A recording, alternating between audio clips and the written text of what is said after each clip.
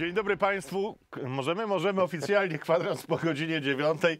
Uśmiech niech Państwu towarzyszy przez cały dzień i przez cały tydzień, a e, będziemy Państwa też do tego uśmiechu prowokować za sprawą i udziałem Państwa i moich gości. A dlaczego udziałem i dlaczego za ich sprawą będę wyjaśniał już za moment. Maciej Wąsik, były wiceminister spraw wewnętrznych i administracji Prawo i Sprawiedliwość. Dzień dobry, witam pana serdecznie. ministra. Mariusz Gocek, Suwerenna Polska. Dzień dobry Panu, Panie Pośle. Dzień dobry, witam serdecznie. Piotr Bakun, bezpartyjni samorządowcy. Jak dobrze pójdzie, może europoseł? Tak, mam nadzieję. Że... Piotr Kusznieruk, Nowa Lewica. Dzień dobry panu, panie Dzień doktorze. dobry. Dzień dobry. Pana też wzięło na kandydowanie, czy nie? Nie, A dlaczego nie? nie wiem, rzadko kandyduję.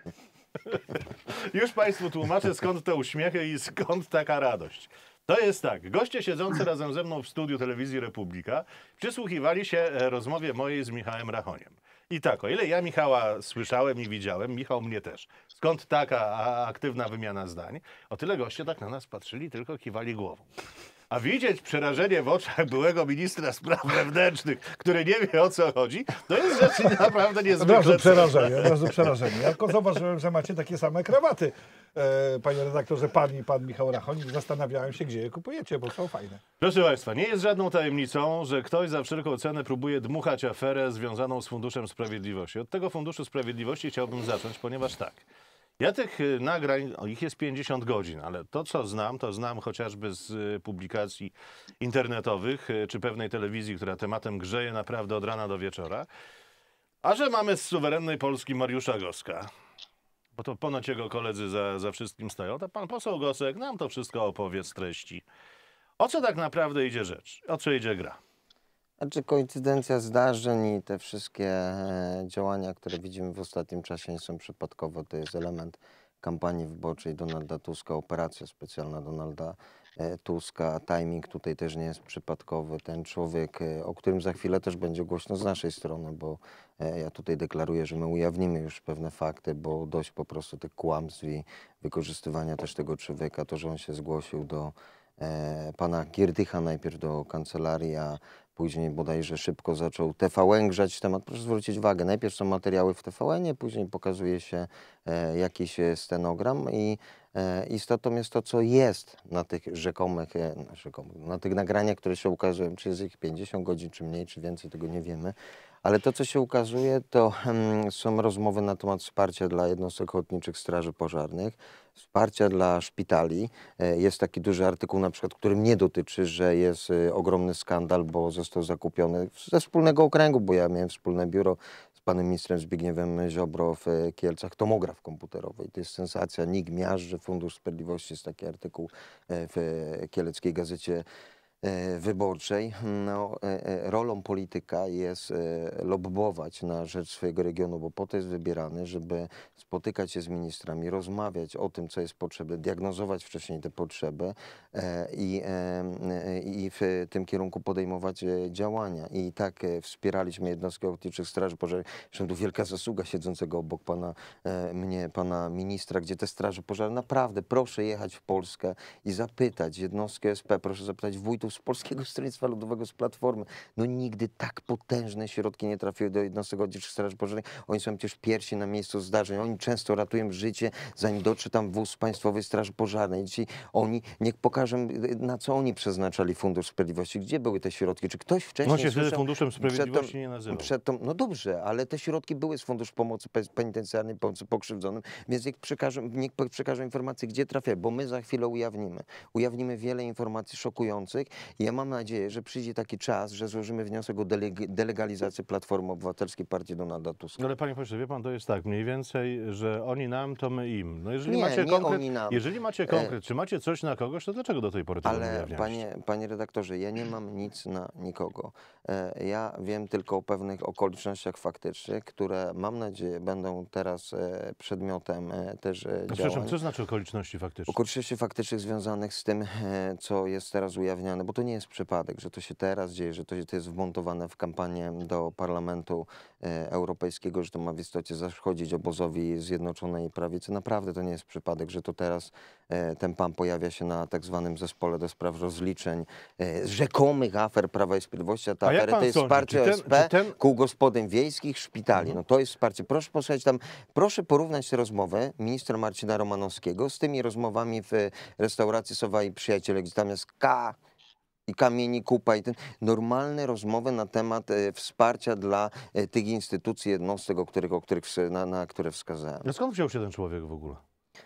Nie do mnie pytanie, no, No ja jak nie do znam, pana pytanie? ale nie, panie redaktorze, wiedzą, no. ale nie, nie znam tego człowieka, ja go, ja go nigdy na oczy nie widziałem, także nie znam tego człowieka, no, wiele, I wielu pewnie między wami też nie wymieniacie opinii, też, przepraszam Ale- panie ministrze, sekundeczkę, bo sytuacja jest na tyle śmieszna, że tak, wszyscy straci, straszyli Pegazusem, Ale nie- a tu finalnie okazuje się, że człowiek z dyktafonikiem albo z telefonem robi akuku i robi rwetes w całej Polsce. To ja się pytam tak, co łączy Marcina Romanowskiego chociażby z tym panem dyrektorem, który obecnie... No, został zatrudniony jako urzędnik. Ja wiem z tego, co też e, te A informacje przepraszam, a co łączy w takim razie tego był, był, był, stu, Panie był, pośle, nie, był- pan, pan już wie o co ja chcę zapytać i pan mnie na drugi tor zaczyna spychać. Nigdy w życiu. Y, To mamy tak, mamy trzech panów. Mamy Romana Giertycha, mamy tego pana i mamy chociażby Marcina Romanowskiego. Co ich łączy?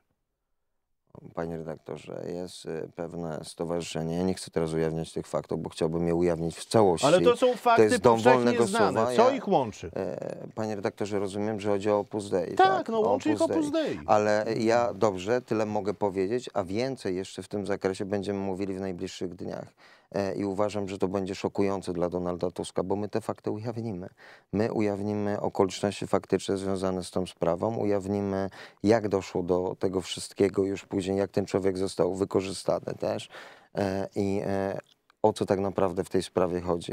Bo to, że wspieraliśmy straże pożarne, to, że wspierał Fundusz Sprawiedliwości e, szpitale, to, że Fundusz Sprawiedliwości sp- wspierał koła gospodyń wiejskich, które dbają o naszą No dobrze, to ja tylko tak dopytam, co macie? Nagrania macie? Macie jakieś dokumenty? Co macie? No, panie redaktorze, poczekajmy. To Nie, no panie to pośle, jest- ale to nie ma na co czekać. No, to...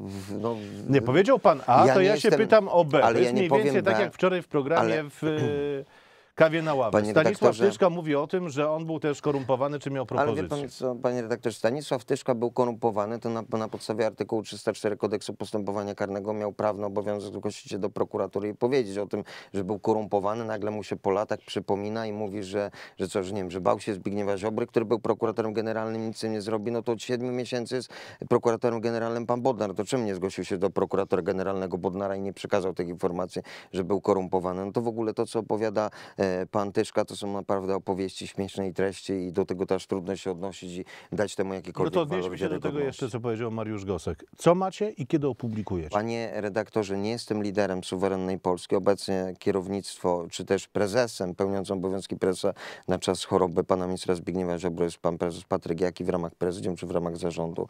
Będziemy o tym decydowali. Na pewno nie pozostawimy tego bez odpowiedzi, a Donald Tusk bardzo mocno się zdziwi. Razem z Romanem Giertykiem, a może nawet i wejdą w bardzo duży spór, że jednak ta cała afera e, i wykorzystywanie jej w kampanii wyborczej zaszkodziły Platformie. Maciej Wąsik. Komentując tę sprawę, to ja chciałbym zwrócić uwagę na jedną rzecz. Znaczy, kto jest prokuratorem generalnym? Czy to jest pan Pod- Podnar, czy to jest pan Giertych? Ja się zastanawiam, kto decyduje tutaj o e, toku śledztwa. Bo mamy sytuację, że jest ponoć świadek koronny, który składa zeznanie przed prokuratorem. No przepraszam, ale ten pan nie ma statusu świadka. Małego świadka koronnego. Małego świadka koronnego to jest tam artykuł 60 kodeksu karnego, tam nadzwyczajne złagodzenie ka- kary i tak dalej. I nagle ten człowiek e, po zeznaniach w prokuraturze pojawia się e, na zespole pana Giertycha i zaczyna mówić to, co mówił w em, prokuraturze. Ja się pytam tak, gospodarzem tej wiedzy, właścicielem tej wiedzy jest prokurator. Czy prokurator dał zgodę? Jeżeli dał zgodę, to znaczy, że jest prokuratora e, wykorzystana politycznie, bo kontekst wyborczy jest oczywisty.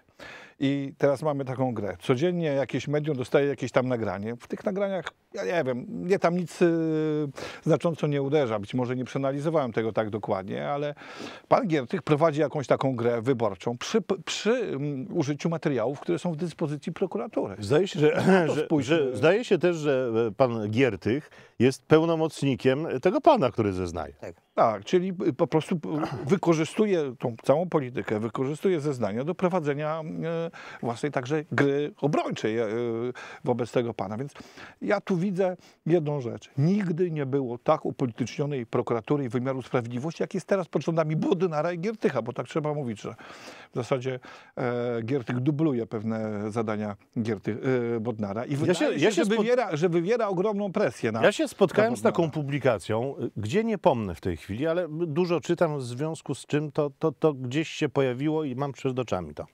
E, Ponoć jest rywalizacja, właściwie może nawet nie tyle rywalizacja, ile takie danie psztyczka w nos prokuratorowi i ministrowi sprawiedliwości Bodnarowi. Ponoć Roman Gierty chciałby go chętnie zastąpić. Ja nie wykluczam takiej, e, wręcz myślę, że marzy o tym Roman Giertych, to e, widać z tego, że jak gdyby on dubluje tą rolę, prawda? On pokazuje Tuskowi, zobacz, tak trzeba działać, tu trzeba włączyć kamery, wszystko w świetle kamer, będziemy PiS dojeżdżać i tak dalej, i tak dalej, i tak dalej. Ja uważam tak, no, mamy, e, mamy do czynienia z państwem autorytarnym w mojej ocenie. To jest państwo, które wykorzystuje absolutnie materiały prokuratury do rozgrywek politycznych robi z tego ogromną aferę, odsuwając od siebie e, pewne rzeczy. A dzieje się dużo, bo wraca, bo wraca ustawa wiatrakowa do Sejmu e, w czerwcu, tylko skończą się wybory. No. Znaczy po wyborach myślę będzie niezwykle ciekawy czas.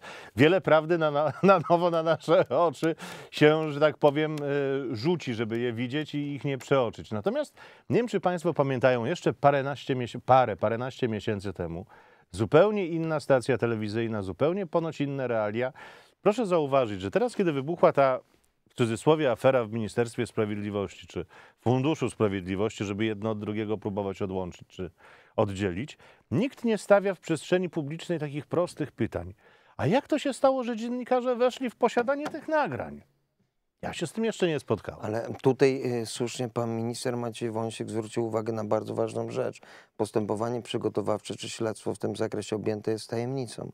I co do tego wątpliwości nie ma i to powinien wiedzieć przede wszystkim pełnomocnik. Chyba, bo to że jest zgoda Chyba, że prokuratury jest zgoda tych materiałów. ale, ale tutaj trudno mm, domniemać, że taka zgoda była, a jeżeli była to tak, jak pan minister powiedział, tu w pełni się zgadzam, że to jest już skrajne upolitycznienie, jeżeli siada człowiek, główny świadek z 60, przepraszam, z artykułu 60 Ka- kodeksu karnego, czyli tak zwany mały świadek koronny i on po prostu opowiada od A do Z, więc e, co robią Większość te młodzieży, osoby? kiedy słyszy 60, to wie, jest nawet określenie Prze- 60. Przepraszam, mały świadek koronny.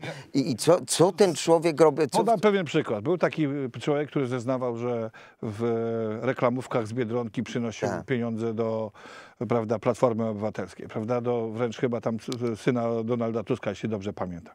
Czy wyobrażacie sobie, że Zbigniew Ziobro posadziłby go na komisji sejmowej czy na zespole sejmowym i kazał mu to wszystko opowiadać? No, Co by to było? To byłoby jakieś szaleństwo. Atak byłby taki. Nie, nie- nie robiono takich spraw. To są rzeczy, które prokuratura musi w zaciszu gabinetu weryfikować. Przecież to jest sygnał wysłany do wielu ludzi, którzy będą świadkami w, w tym postępowaniu, którzy już będą wiedzieli, jak się odnieść, w jakim kierunku iść i tak dalej, i tak dalej, i tak dalej.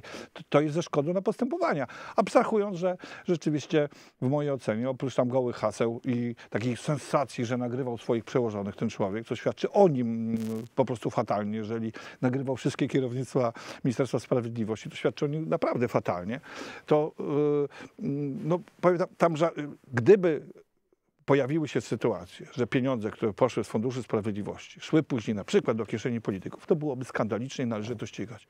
Ja czegoś takiego w tych e, e, materiałach nie, nie, nie, nie znalazłem.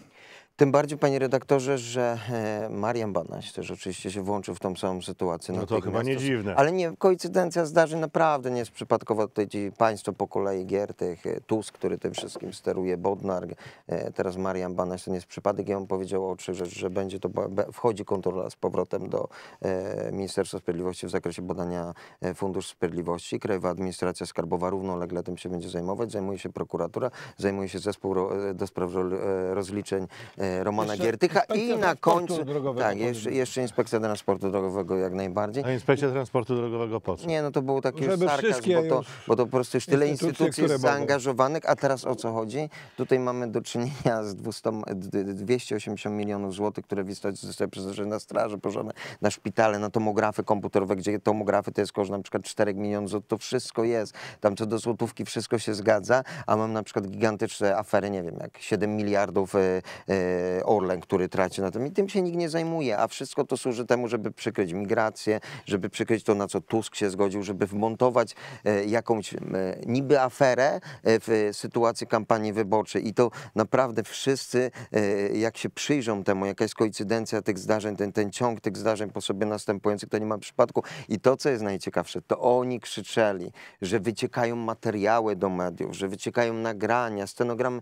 Teraz wszyscy siedzą cicho. No tu wszyscy ci politycy siedzą cicho, po prostu wszystko płynie jak ten. To ja się pytam, po co te tymczasowe areszty? Dla te, między innymi dla księdza, księdza Olszewskiego. No po co on siedzi, jeżeli siadł sobie pan, e, e, pan główny świadek, ten nagrywający i on sobie wszystko popowiadał, pan Giertyk e, przesłuchał go w obliczu kamer, no to co on robi? Obawy ma tacy też chyba nie ma. No przecież no, prokurator, jeżeli wyraził zgodę, to teraz powinien wystąpić z wnioskiem o zwolnienie tego księdza. No przecież nie ma sensu już go trzymać w areszcie, bo ta sytuacja, ta sprawa już stała się sprawą po prostu Znaczy, kolejna publiczną, sprawa no. trafi do- trafi do e, Trybunału Sprawiedliwości Unii Europejskiej czy Trybunału Praw Człowieka Unii Europejskiej i finalnie będą kolejne odszkodowania za nadużywania w Polsce aresztu tymczasowego. Ot i to wszystko. Piotr Bakun. Ja osobiście jestem za tym, żeby tego typu fundusze e, likwidować w ogóle, dlatego że Fundusz Sprawiedliwości daje bardzo dużą możliwość swobodnego wydawania tych pieniędzy i jestem zdziwiony, że, są, że ktoś jest zdziwiony, że tak jest. Tak po prostu jest. Tak samo jak fundusz e, specjalny przez e, premiera. On też może wydawać te pieniądze w takiej formie, jakiej sobie praktycznie chce. Oczywiście są pewne ograniczenia, ale doskonale wiemy, że one są e, łatwe do ominięcia. I jeżeli chodzi o w ogóle podejście i możliwość nagrywania urzędników, Ale o jakim funduszu specjalnym pan mówi? W rezerwie rozumiem. tak? rezerwie, tak, Rezerwie. dokładnie, która jest Ale w to- dyspozycji e, ale to- premiera. Ale to jest rezerwa celowa tak zwana. To, to Donald Tusk też ją ma. no Nie, no ale tak. musi być rezerwa w rękach premiera, bo pojawiają się w czasie roku wydatki, które są niezbędne do... Oczywiście, że Ale tak. widzimy, do czego to doprowadza. Panie, Mamy panie Piotrze, ale to sekundeczkę i w odpowiedzi do panów. To jest, proszę państwa, tak jak z rezerwy celowej, nagle ni stąd, ni zowąd na media publiczne znalazły się pieniądze i to miliardy. Te miliardy, które miały pójść dodatkowo na onkologię, to teraz zostało to powetowane z budżetu y, premiera, czy z tej rezerwy celowej premiera. Natomiast nikt nie zwraca uwagi na jedną drobnostkę, a mianowicie taką, że jest to niedozwolona pomoc publiczna. I to powinno być asygnowane, czy też powinna być wyrażona zgoda na to. Pamiętamy, jaki był krzyk, jak Oczywiście, że pamiętamy, dlatego tak to odważnie mówię. A teraz chyba 3,5, tak? 3,5 miliarda rocznie, tak. Do tego panowie, no wy akurat e, rządziliście, co najmniej e, tutaj e, pan minister i, daje to swobodę. To znaczy ja nie widzę e, tutaj jakiegoś tam powodu, żeby w bardzo szybkim tempie, jeżeli jest e, rzeczywiście konieczność szybkiego wydania, nie wiem, e, jakaś katastrofa, jakieś wydarzenie, żeby zrobić korektę budżetu. Ale wie pan co, rządzenie, ale rządzenie polega na tym, że się decyduje między innymi na co idą pieniądze. I kto ma decydować, jak nie premier? Ja doskonale rozumiem, ale mamy tutaj w tej chwili dyskusję i debatę, że te pieniądze są wydawane niewłaściwie. Jestem przekonany, że w momencie, Nie, nie, nie, nie, nie, nie. A jak niewłaściwie? Będzie, będzie również ocena konkretnej władzy. I, I mamy za, po sąsiedzku wojnę, a politycy tej pierwszej głównie ligi zajmują się tym, czym nie powinni się zajmować. Ja przypominam, co się działo w roku 36, 37, jak wyglądała nasza scena polityczna. I mam wrażenie, że teraz zamiast wszyscy się skoncentrować na tym, że mamy potencjalnego wspólnego wroga i e, zawiesić te topory wojenne i zacząć wspólnie działać, to panowie politycy, tak mówię, pierwszej ligi, mam na myśli tutaj Prawo i Sprawiedliwość, Platforma Obywatelska, to toczycie, znaczy toczona jest wojna. Wie pan co?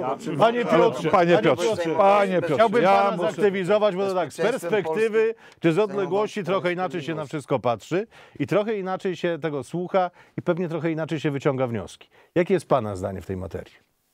Znaczy, moim zdaniem to, co się obecnie dzieje z Funduszem Sprawiedliwości Społecznej, a w zasadzie z poczynaniami e, pana mm, posła Giertycha, to jest rodzaj takiej prywatnej wojny między mm, byłym ministrem Zbigniewem Ziobro a e, panem posłem Giertychem, ponieważ pan poseł Giertych czuje się pokrzywdzony działaniami Ministerstwa Sprawiedliwości, a w zasadzie prokuratury w czasie, kiedy rządziło Prawo i Sprawiedliwość. W związku z tym Mm, Po pierwsze, stał się głównym śledczym em, w stosunku do wszystkich afer Prawa i Sprawiedliwości, no bo próbuje odgrywać rolę takiego mm, pokrzywdzonego szeryfa, który ma prawo. Ale to społecznie nie wygląda za bardzo dobrze, ponieważ wyraźnie jest ten konflikt zaangażowany emocjonalnie i e, nie ma to podłoża merytorycznego.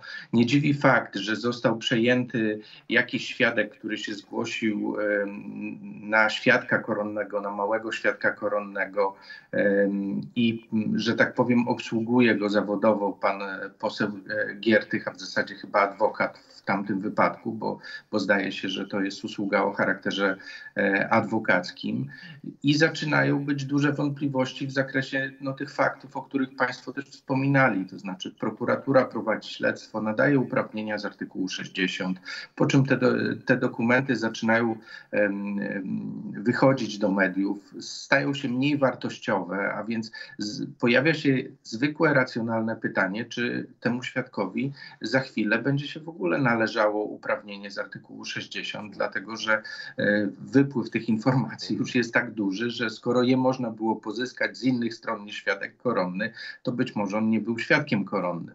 I to są e, rzeczy oczywiste, i to jest troszeczkę rozgrywanie tym panem swojej jakiejś racjonalnej polityki. Szkoda człowieka, jeżeli on faktycznie miał taką wiedzę, to powinien e, tą wiedzę re, realizować w prokuraturze. Opiekunem tej wiedzy jest prokuratura i powinien się trzymać zaleceń, które zrobiła prokuratura.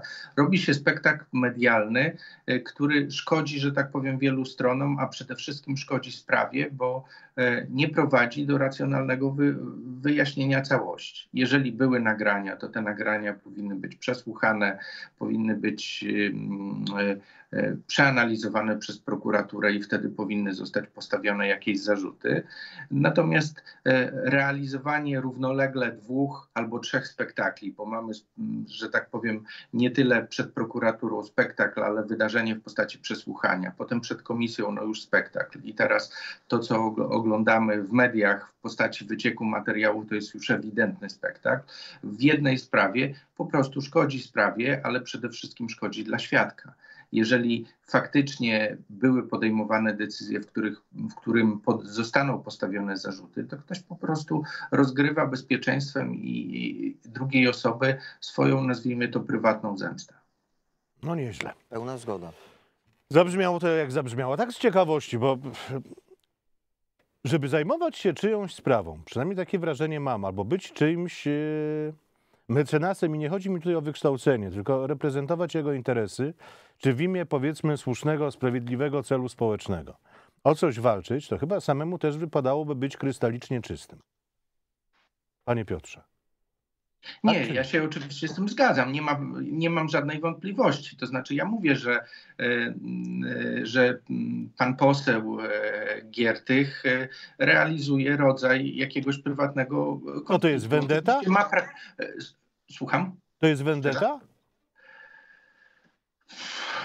Nie potrafię aż tego tak gwałtownie nazwać, ale. A ja potrafię. E, natomiast no, powiem w ten sposób, z racji profesjonalizmu zawodowego, który wykonuje adwokat w ramach świadczenia usługi prawnej dla swojego klienta, wiedząc o tym, że nie potrafi utrzymać emocji i nie potrafi, że tak powiem, funkcjonować na pewnym poziomie profesjonalizmu, albo wyszukuje sobie takich adwokatów, on moim zdaniem z tej sprawy się powinien wyłączyć. To znaczy, prawo mu nie zakazuje. To jest oczywiste. Ja, ja wy, wyrażam swoją prywatną opinię w tym zakresie.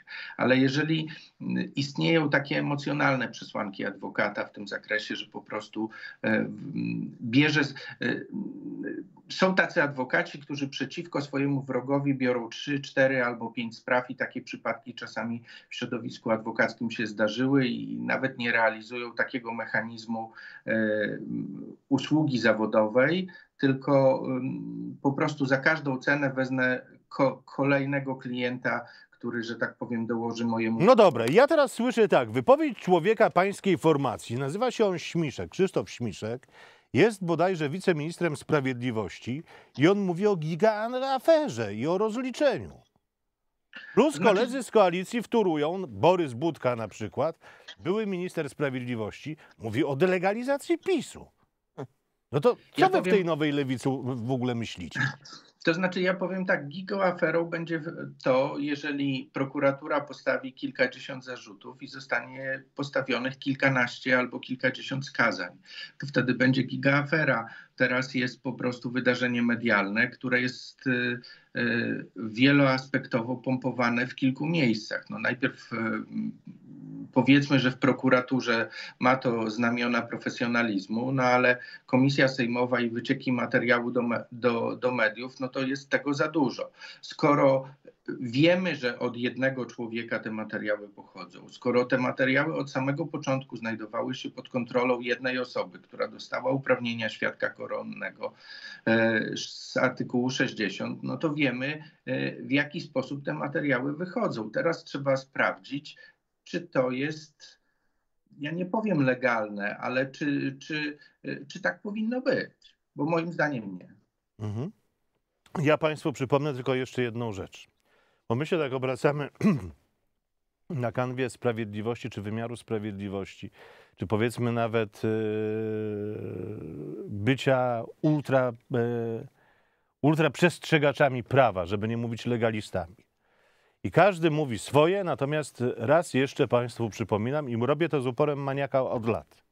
Zarzuty można postawić każdemu. Każdemu, kto nie ma immunitetu. Chociaż temu z immunitetem też zarzuty można postawić.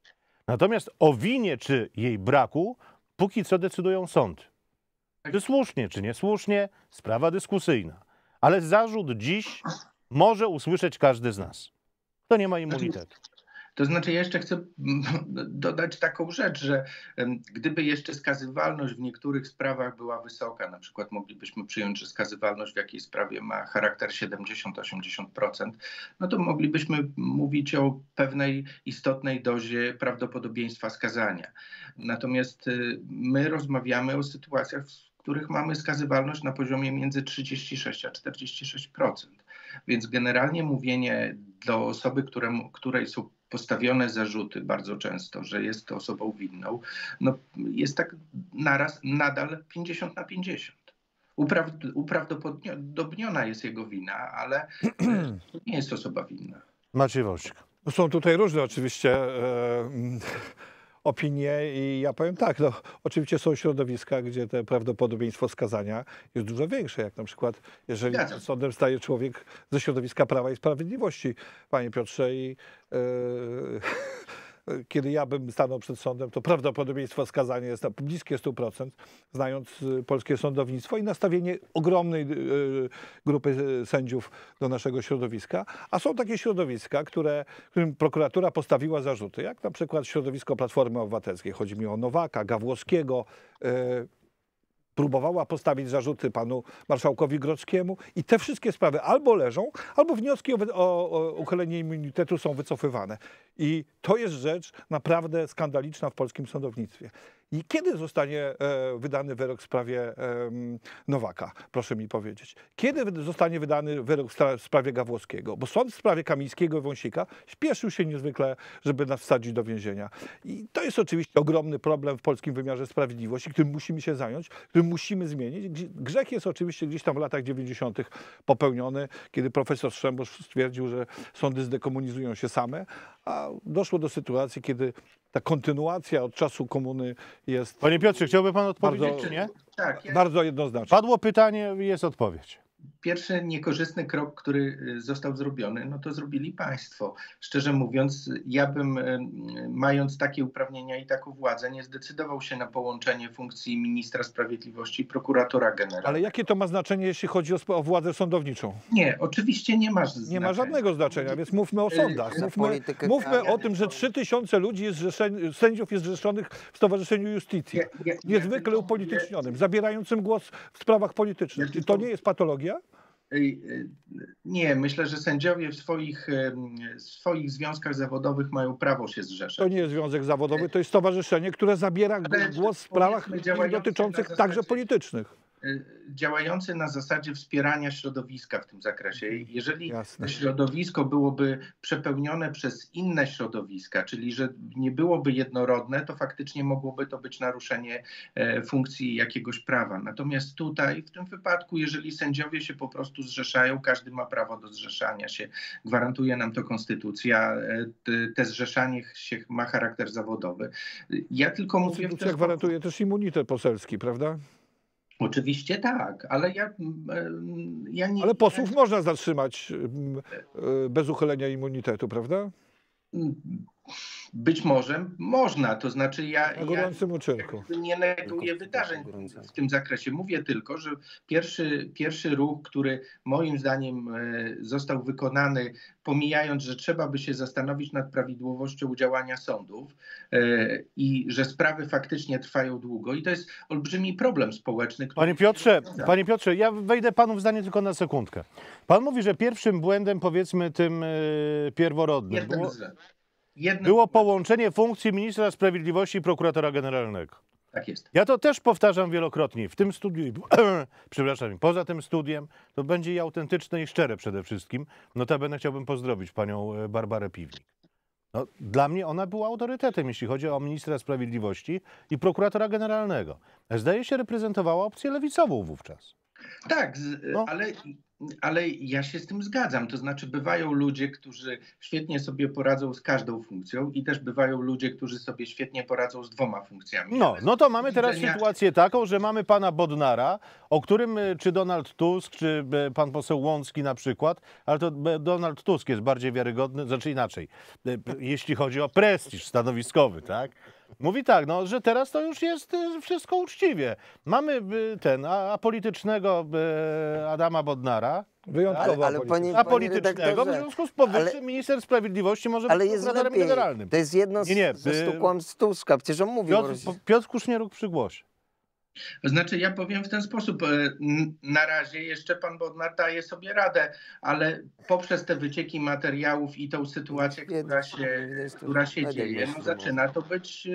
E, Znaczy, Ale jak to daje sobie radę, kiedy odwołuje pre, pre, daje- prokuratora krajowego bez zgody prezydenta? Proszę mi wytłumaczyć, jak daje sobie radę? Przecież to jest sytuacja skandaliczna. Jest I- to przecież złamanie prawa e, w świetle kamer. Nie, to nie jest złamanie prawa, tylko to jest stosowanie prawa, Ale jak się je mało rozumie. tego, to jest że, odwo- różnica. że odwołuje, Piotr- to później jeszcze powołuje bez Piotr- zgody prezydenta. Piotr to by było ciekawe, czyli taka recydywa w tym zakresie, jeżeli chodzi o tą czynność. Znaczy, ja powiem w ten sposób, no proszę Państwa, zdaję sobie sprawę z sytuacji, która ma miejsce jak gdyby w systemie wymiaru sprawiedliwości, czy w ogóle w postrzeganiu prawa w ostatnim okresie, czym się bardzo martwię, że litera prawa oderwała się od ducha prawa. To bardzo dziękujemy za to.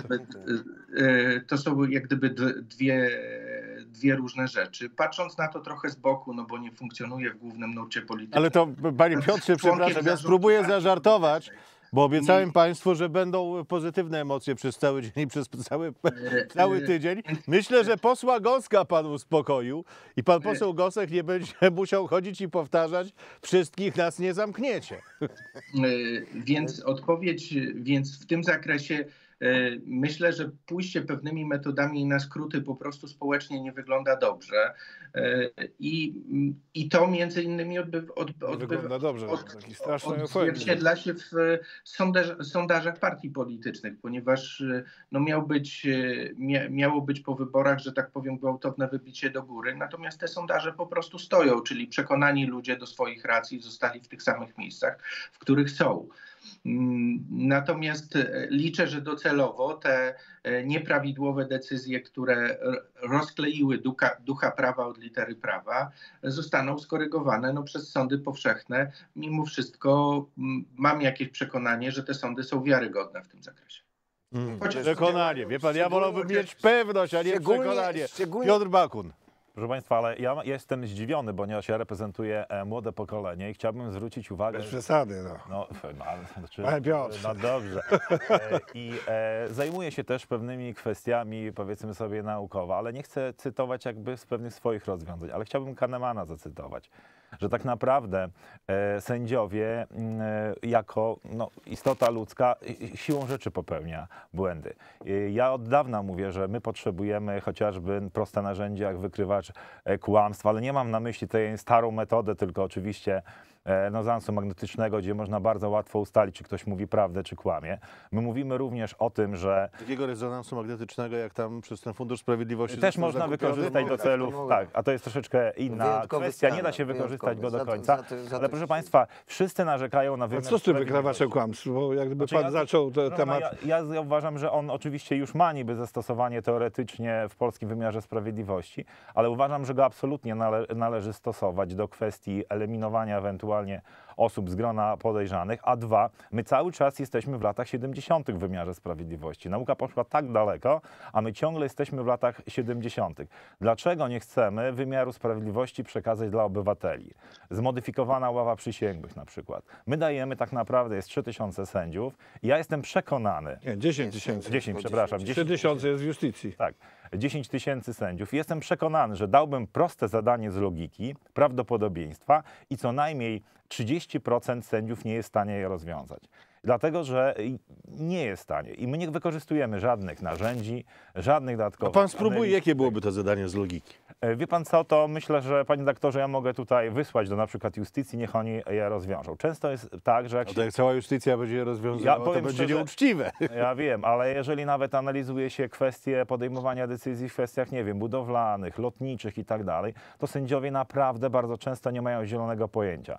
I skoro nie możemy sobie poradzić z wymiarem sprawiedliwości... Powinni powoływać wszyscy- biegłych w takiej Tak, sytuacji. ja wiem, wszyscy są niezadowoleni, to ja bym jednak apelował tutaj do rządzących, którzy będą pewnie rządzić za 4 lata, do tego, żeby Szybciej. jednak e, zrobić reformę wymiaru sprawiedliwości i przekazać ją obywatelom. Jednak zrobić zmodyfikowaną ławę przysięgłych, nie tą, która jest w Stanach Zjednoczonych, bo to jest też archaizm, ale rzeczywiście wybrać obywateli, którzy będą orzekać o winie, nie o winie. Bo mam wrażenie, że wymiar sprawiedliwości staje się narzędziem politycznym, niezależnie od opcji, bardziej lub mocniej. Ja kiedyś byłem przekonany, że jak się zmieni władza, czyli e, już nie będzie rządzić Prawo i Sprawiedliwości, czy to jest Zjednoczona Lewica, to będzie cudownie, bo tak pięknie mówią politycy Platformy Obywatelskiej. Miało być podział funkcji prokuratora generalnego z ministrem sprawiedliwości. Funkcje miały być nieupolitycznione, a okazuje się, że dalej to jest. Ja nie widzę... Nie, teraz jest Ale zupełnie słuchajcie inaczej. państwo, No nie jest Bo teraz, inaczej, jest nie, tak- ale panie Piotrze, pan nie rozumie. Wykładnia jest prosta. W momencie, kiedy ci przegrali, tamci wygrali, to ci, co wygrali, twierdzą, że teraz jest już apolitycznie. Nie jest Proste. apolitycznie, wszyscy obywatele doskonale wiedzą. Ja nie reprezentuję tutaj, jestem w opozycji i byliśmy w prawie, jeżeli chodzi o Prawo i Sprawiedliwość. Liczyłem, że e, tutaj bardzo dużo wniesie e, e, tutaj Hołownia, nie doszły zakonnik, więc liczyłem, że on rzeczywiście powie, skończymy z tym, co jest, bo to jest złe. Ale pan nie Z natury przywołuje, te, nie, bo ja rozumiem, że to był taki przytyk w stronę Hołowni, Nie, żeby nie mu zarzucić absolutnie. przyszły zakonnik. Ale nie, Notabene nie, nie, nie. dwukrotny, czy tam trzykrotny, to jest bez Ale nie, znaczenia. ale- Wie pan, ale jak, jak już pan przywołuje zakonnika, to ja patrzę na Goska i ten dyrektor, który tam teraz ich ponagrywał, to okazuje się, że też przez jakiegoś zakonnika wsadzony. Ja powiem w ten, ten sposób, to, że... Przyszedł zakonnik i powiedział, mam tu takiego dobrego człowieka, weźcie, przyjmijcie, z, zatrudnijcie go. No. Ale ja się też dziwię, bo przecież służby... Tak było, panie Gosek, czy nie? Panie pośle. Ja się, Nie zastana... potwierdzam, nie zaprzeczam. ja się zastanawiam, gdzie jest tutaj kontrwywiad, bo mam wrażenie, że jeżeli można podsłuchać... Kontrwywiad jest teraz zajęty. Ja wiem, że jest zajęty, ale czym jest zajęty? No tym, żeby naprawdę. powstała ta komisja, która nie Ale- jest komisją ale- do zbadania ruskich Ja cały wpływów. czas podkreślam, nam się wydaje, że wojny w Polsce e, nie będzie, że Rosja nas nie zaatakuje, bo jesteśmy w NATO. I wszyscy politycy teraz powinni się przygotować ewentualnie w ważniejszych sprawach. Przepraszam bardzo, czemu te komisje służą? Ja mam wrażenie, że nie służą niczemu. Albo o Pegasusie się wypowiadają ci, którzy nie mają zielonego pojęcia, bo mówią, że jest w obcym wywiadzie. Sorry bardzo, jak ja próbowałem jakiś futurystyczny pomysł naukowy zrealizować, to mi wszyscy się pukają w głowę, co on wymyślił. Teraz na przykład jest próba realizowania pomysłu, czyli lasery do strącania dronów. Wie pan, jaki jest problem? Że ktoś ma pomysł i algorytmicznie chce to zrobić, to ci, którzy nie wiedzą o co chodzi, go odrzucają. Skoro nasi polscy naukowcy nie mogą dostać żadnych grantów, nie mogą badać, a najlepszym, jeżeli chodzi o Pegasusa, to chyba nie ma wątpliwości, jest to jednak jeden z najlepszych programów szpiegowskich, to korzysta z innego państwa. Nagrywa się naszych ministrów, politycy sobie wzajemnie nie ufają nawet w własnych gronie, chodzą z, dy- z dyktafonami. Ja się zastanawiam, co się dzieje w naszym e, pięknym kraju. E, uważam, że klasę polityczną trzeba absolutnie zmienić i głosować w ogóle na nowe opcje, jak na przykład bezpartyjnych czy bezpartyjnych samorządowców. To jest trochę może antyreklama, ale obywatele obserwują, mówią, Antyreklama czego- kogo? No, no, swego ugrupowania. Pan- Bo uważam, że bezpartyjni będą najlepszą formacją rządzącą, bo kierują się zdrowym rozsądkiem. Wracając do polityków. Politycy teraz się zajmują sami sobą i zakładam, jestem przekonany, tutaj mam e, na nami że jeżeli Państwo dojdziecie do władzy, a wiadomo, że to się rotacyjnie wymienia, raz Platforma, raz PiS, to znowu będziecie się zajmować komisjami i zajmę się zajmować Nie. Polską. My mamy wiele większych problemów. Ja powiem tak, bo tutaj chyba zostałem przez pana Piotra Bakuna wywołany. E, Ja powiem tak, ja widzę ogromną różnicę między naszym środowiskiem politycznym a środowiskiem Platformy Obywatelskiej. Proszę sobie przypomnieć rok 2021, kiedy pewno pan również e, widział ten atak hybrydowy na polską granicę z Białorusią. My wówczas powiedzieliśmy twardo, stop, nie puścimy ich, stoimy na straży granicy, budujemy zaporę. W tym czasie Platforma Obywatelska atakowała Straż Graniczną od, od tyłu. Joński, Szczerba, Sterczewski, Nie atakowali, oni przecież chodzili wspierać. chodzili wspierać, jasne. No ja słucham Znaczy, byliśmy potwornie komisji atakowani za to, że bronimy wspierać. granicy. Za to, że bronimy granicy. Dzisiaj ze, ze strony Prawa i Sprawiedliwości nikt nie zaatakuje Panie Donalda ministrze, Tuska to to za będzie- to, że on jedzie na granicę i wspiera strażników To, granicy. to pan będzie kontynuował po, po godzinie 10, proszę państwa, do wymienionej się zbliżamy.